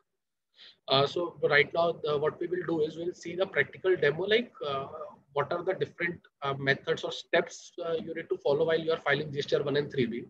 So GSTR 1 is typically outward supply. So see, first you need to go on the GST portal. okay, then you need to log in using your credentials then you need to go uh, to return dashboard uh, after going into return dashboard, you need to search the tax period for which you need to file the return. Then uh, you need to select GSTR1 and in GSTR1C. Now there are two methods. Uh, either you can file uh, normally, you can file online by entering the details here or offline. So first we'll be discussing about the online uh, method and we'll be going method. So going into online, you can open each and every box which we discussed earlier. So this is the B2B uh, uh, table, right? So B2B table you can write कौन सा place of supply whether it is in Maharashtra or it is in Gujarat or it is in Andhra Pradesh, it could be anything. Then what is the invoice number there? उसकी date क्या है, total invoice value क्या है, and multiple अलग अलग rates के कितने taxable value है, and then वो tax automatically calculate कर लेता है. Then next box you can go to credit note, or debit note. यहाँ पे you need to you know कि जीएसटीएन क्या है ये अपना क्रेडिट नोट डेबिट नोट की डेट वगैरह क्या है then what is the value and what is the reason and all and then unregistered में भी आल्सो यू कैन अगर क्रेडिट नोट डेबिट में भी अगर सामने वाला पर्सन अनरजिस्टर्ड है so you can put that details just a second yeah Yeah, Rajesh sir has also uh, clarified about uh, gesture therapy legality. Thanks, sir. Moving on to the uh, next. So these are typically export key details. Export key details. I need to also put port code and shipping bill. So if you actually see यहाँ पे जो port code and shipping bill जो है, those are not mandatory details because typically क्या रहता है जब मेरे गुड्स लेट से अगर मेरे कोई भी गुड्स है वो मेरे पास अगर यू नो तीस अप्रैल को मैंने एक्सपोर्ट किए तो उसके जो ये डॉक्यूमेंट्स रहते हैं कि कौन सा पोर्ट कोड है कौन सा शिपिंग बिल है those are generally taken care by by the freight forwarder जो मेरे एजेंट्स रहते हैं जो मेरे फ्रेट फॉरवर्डर रहते हैं जो सीएनएच एजेंट रहते हैं सो वो मेरे को ये सब डिटेल्स टिपिकली दस दिन बाद, पंद्रह दिन बाद देते हैं। So government no given a relaxation year की जो मेरा पोर्ट कोड है एंड जो मेरा शिपिंग बिल डिटेल्स है, ये मैं बाद में अभी नहीं भी डाला तो मैं बाद में अमेंड कर सकता है इसको। मैं दो तीन महीने बाद जब जीएसटी आर वन और किसी मंथ का बनूँगा और मेरे पास डिटेल्स है तो then I can amend such details here तो अपना ये एक्सपोर्ट के केस में with payment without payment I need to select that and then put in the relevant figures and then export का एक्सपोर्ट में इतने ही डिटेल्स लगते हैं। ठीक है? उसके बाद moving on to the next thing so अपना बी टू सी स्मॉल में there are less less details required because यहाँ पे कस्टमर रजिस्टर्ड नहीं रहता है। सो so यहाँ इन्वॉइसेस डिटेल्स नहीं देनी है यहाँ है यू नो मेरे टोटल महाराष्ट्र में कितना बी टू से सेल किया मैं डायरेक्ट वो डाल सकता देन स्टेट वाइज यहाँ पे मैं अपना टोटलिटी uh, बेसिस पे डाल सकता rather than going on invoice wise basis because इतनी सारी डिटेल्स रिक्वायर्ड नहीं रहती है। Then C nil rated and exempt is further simplified यहाँ पे अलग अलग बास्केट्स दे दी गई है कि मेरे अगर लेट से मेरा इंटरेस्ट सेल है राइट एंड अगर सॉरी मेरी अगर इंटरेस्ट इनकम है तो मैं उसको एग्ज़ाम में रिपोर्ट कर दूँगा। एंड उसको मैं एग्ज़ाम में interstate report my bank like my registered business तो मैं उसको इंटरेस्ट में रिपोर्ट कर दूँगा। फिर अगर और कोई वैसे ट्रांजेक्शन है तो मैं यहाँ पे उसको एग्ज़ाम में निल रेटेड नॉन जीएसटी अलग अलग बास्केट्स हैं। Then two interstate and intrastate में बाइफर्केशन है रजिस्टर्ड एंड अनरजिस्टर्ड में so depending on transaction to transaction we need to decide वो कौन से बास्केट में फॉल कर रहे हैं देन उसको वैसे रिपोर्टिंग करनी पड़ती है। ठीक है? And then moving on to the nil rated exempt हो गया। देन मेरे को एच एस एन समरी यहाँ मेरे को एच एस एन की डिटेल्स डालनी रहती है कि वो कौन सा एच एस एन है, उसका क्या डिस्क्रिप्शन है कोड वो वो केजीस में बिकता है या नंबर ऑफ़ पीसेस में बिकता है या लीटर्स में बिकता है it could be anything and मतलब यहाँ पे स्पेसिफिक ड्रॉप डाउन लिस्ट रहती है। You need to select from the drop down list and then what is the total quantity in case of services जहाँ पे मैं सर्विस डाल रहा तो अगर मैं एसएससी कोड डाल रहा तो सर्विसेज़ में I can put a quantity of zero और वन बिकॉज़ सर्विसेज़ में ऐसा कोई क्वांटिटी नहीं रहती है। देन उसकी टोटल टैक्सेबल वैल्यू क्या है? देन रेट क्या है? Then IGST CGST and SGST and sales right तो इसमें टिपिकली क्या रहता है? So one HSN could have multiple description so and hence multiple rates अगर कोई एक एचएसएन है जिसमें मल्टीपल टैक्स रेट है and multiple you know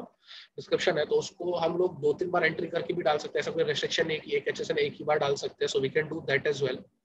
there are just uh, just a second there are certain chats in the chat box so we'll uh, see that uh, we are through with GSTR gstr1 so we can take a few uh, queries uh, i guess there is some voice issue so i would uh, just switch off my camera yeah so is the voice audible now? Can can you confirm in chat box? Yes. Okay thanks. Yeah we can move on to the next. So this is typically list of documents that what is my series, what is my serial number from and what are the total number of invoices and then uh, how many of those invoices are cancelled, what is the net uh, invoices issued. And then all this, you can generate a G, uh, you know GSTR1 summary. You can verify those details whether it is matching with your uh, internal records or not, sales register or not. And then if everything is matching, then you can go ahead and file the return. So this was about the online So this was how the online procedure you can file your GSTR1. Moving on to the next about offline tool let's say if you are saying that you don't want to you know uh, you don't uh, because let's say you have uh, 4000 invoices you have uh, 5000 line items so then it becomes typically impossible to file the return using uh,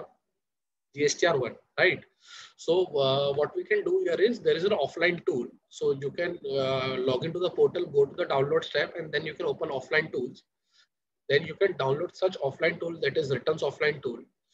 uh, after downloading it, you can uh, open it and then it typically has uh, such Excel sheet only. Uh, so that tool is nothing but sort of an Excel sheet only. So this is a uh, offline utility of B2B. So see, apna, yahan pe you can um, punch multiple data data sets. अगर let's say आपको 500 invoices, 1000 invoices, then this becomes typically easy because आप directly copy paste कर सकते हो. Invoice number है, invoice date है, then जो जो details online में ऑनलाइन पोर्टल पे डालते हो वही सारी डिटेल्स यहाँ पे डालनी है। So you can go through that there is you know nothing extra here जो डिटेल्स वहाँ लगती है सारी की सारी डिटेल्स यहाँ पे लगती है। So, यहाँ जब एक्सेल एक्सेल फ़ाइल में आपने सारी डिटेल्स डाल दी then uh, you need to you know create a json. You need to go through that अपना जो offline tool download किया you need to go to that offline tool में you need to put in your details कि आप कौन से period के लिए कर रहे हो कौन सा ईयर एंड कौन से पीरियड के लिए कर रहे हो। Then you need to import the file जो आपने excel वहाँ पे create की that excel is called in terms of here that is called csv csv file बोलते हैं उसको तो वो जो आपने excel file create की csv file create की वो आप यहाँ पे import करते हो why because जो अपना gst portal है that does not understand your and my language of uh, excel sheet तो उसको जेसन के फॉर्मेट में चाहिए रहता है व्हाट इज़ जेसन जैसे हम लोग स्कूल में बाइनरी लैंग्वेज सीखे थे कि zero and one is the language in which the computers communicate among each other so in the same way जो जीएसटीआर वन है उसके लिए अपना you you know know,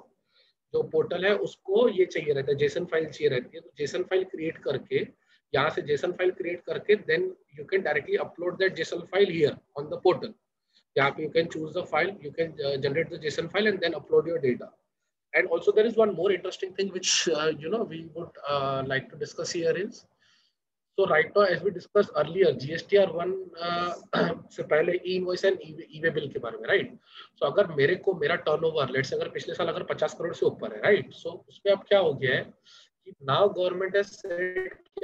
invoice generate करोगे ना वो डायरेक्टली ऑटो पॉपुलेट डिटेल हो जाएगी आपके जीएसटीआर वन में। तो अगर टिपिकली मैंने अगर अपने 100 इनवॉइसेस जनरेट किए अपने कस्टमर्स को बिकॉज़ अगर मेरा टर्नओवर 50 करोड़ से ऊपर है और मैंने अगर सौ इन्वॉइसेस जनरेट किए हैं अपने कस्टमर्स के लिए, वो सारे के सारे सौ इन्वॉइसेस आइडियली मेरे जीएसटीआर वन में आ जाएँगे। एंड यहाँ पे आप अगर वो पर्टिकुलर टेबल में जाओगे बी टू बी में एक्सपोर्ट में तो जैसे जहाँ पे जैसे हाईलाइट किया हुआ है तो आपको दिखता है कि अच्छा ये ये सोर्सेज से इन्वॉइस ऑलरेडी इसमें आ गया है। So now what is critical here is हर एक केस में ज़रूरी नहीं है कि वो जीएसटीआर वन में ऑटो हो because of certain technical glitch there could be a possibility आपके 100 में let's say 85 invoices reflect हो रहे so then वो जो 15 invoices है you can punch in manually or uh, you know generate a CSV for only those 15 invoices uh, moving on to the next GSTR 3B like uh, how GSTR 3B is uh, filed so uh, we right now we discuss about GSTR 1 so if anybody has a any doubt regarding GSTR 1 so we can take that up you can write it in uh, chat box if you have any query related to GSTR 1 or else we can move to GSTR 3B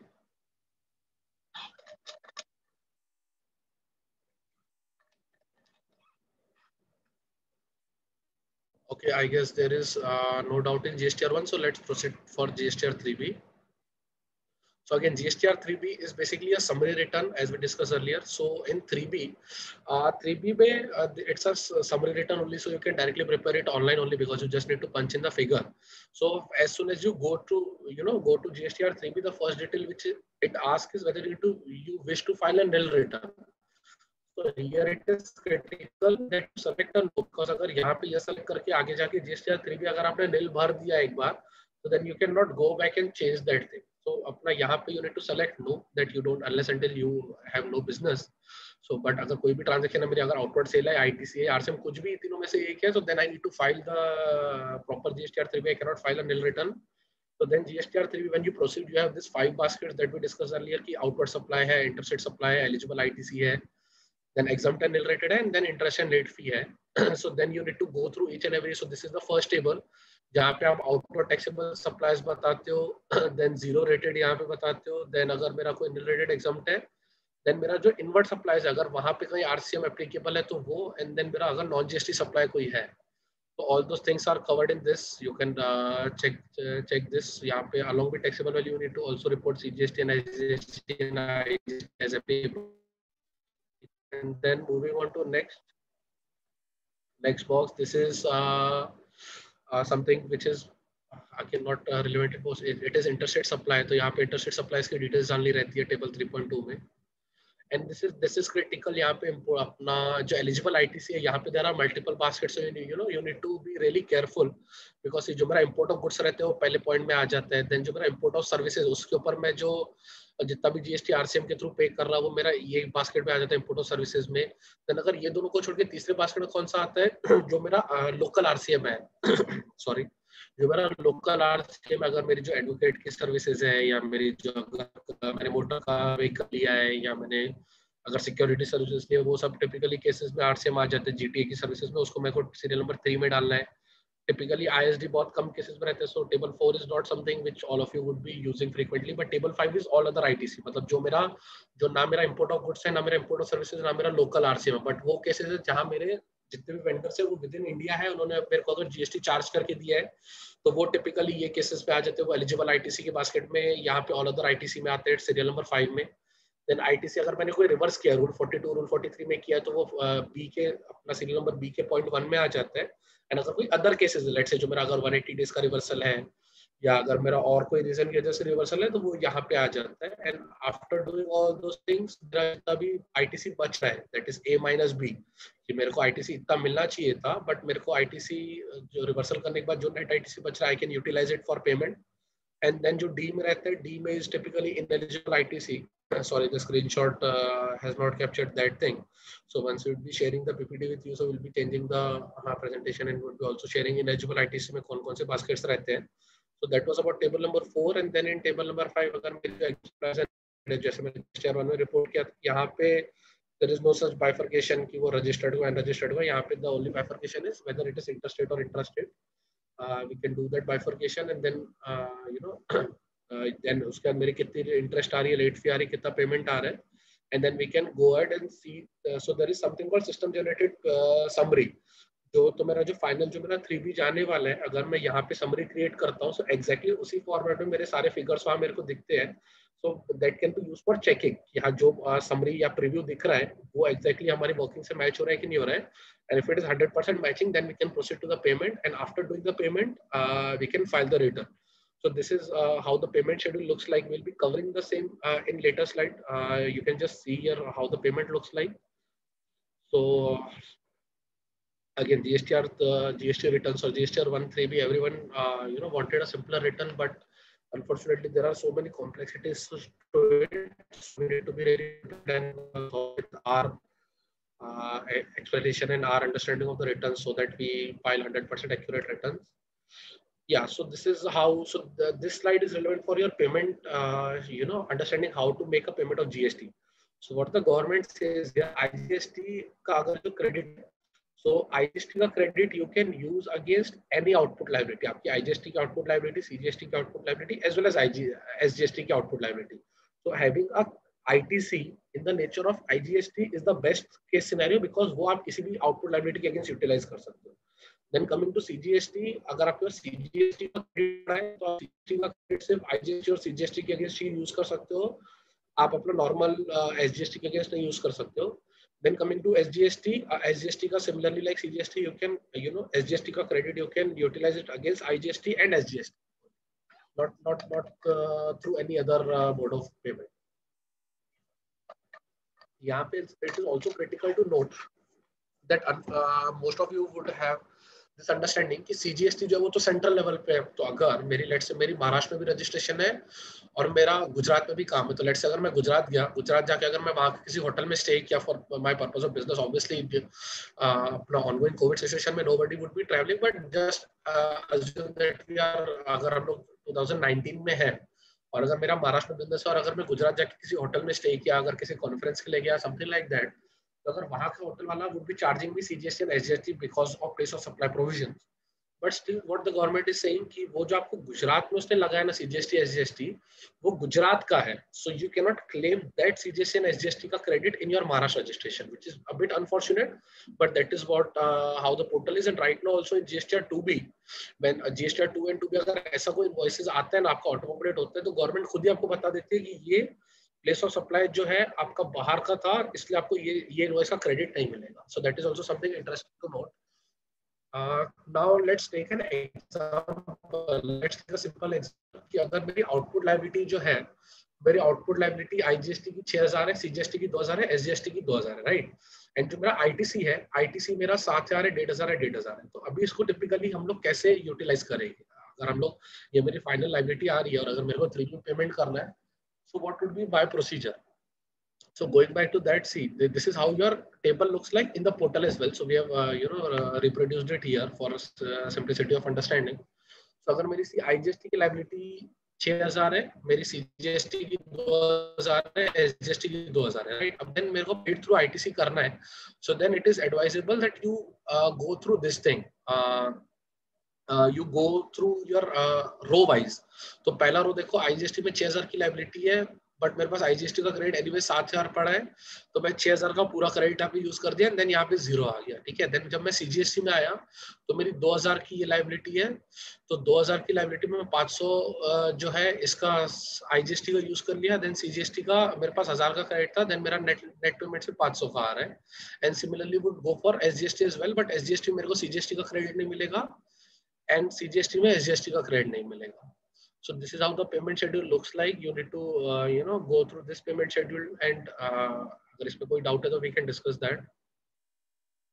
and this is how the uh, you know portal looks like uh, portal पे भी the, the the table is same the format used in this table and this table is same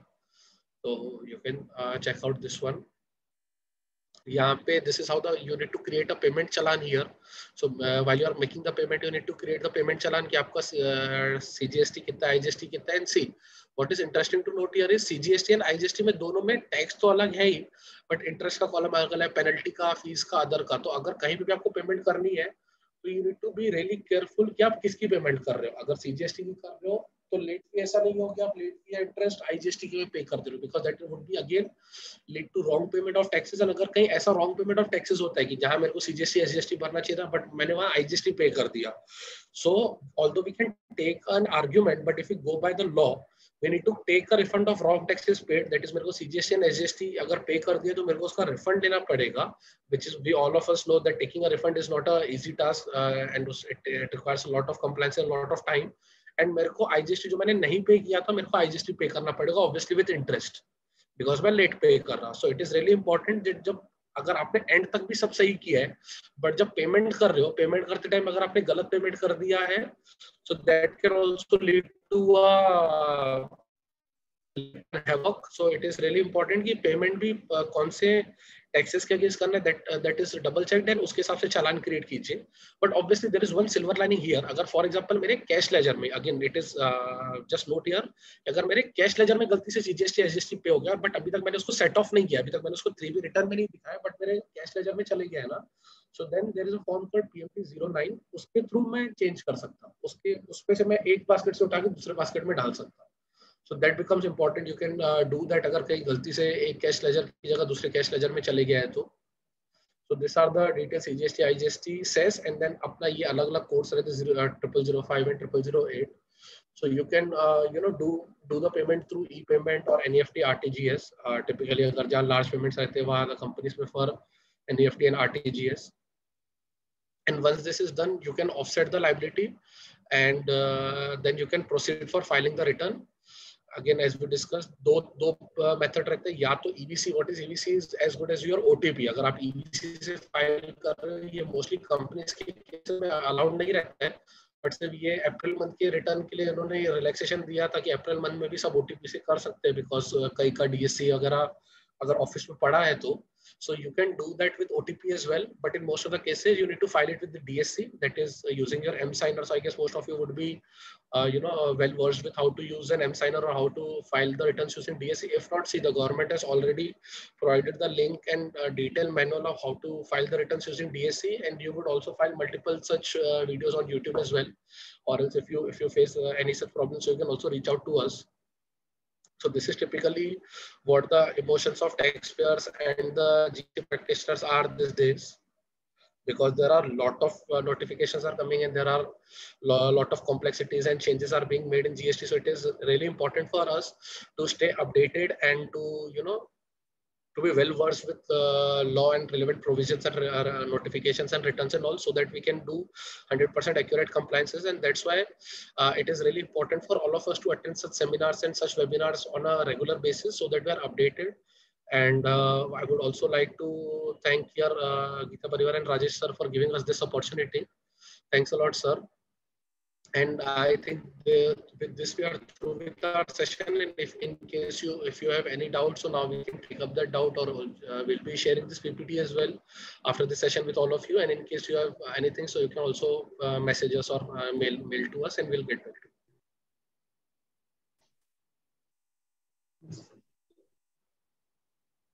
So thank you, Rajesh. Uh, thanks, uh, Sahil. Uh, Rajesh, please feel free to take it over.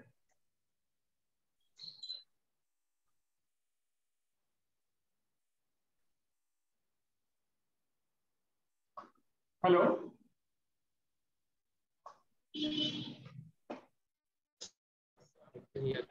Rajesh sir? Rajesh sir?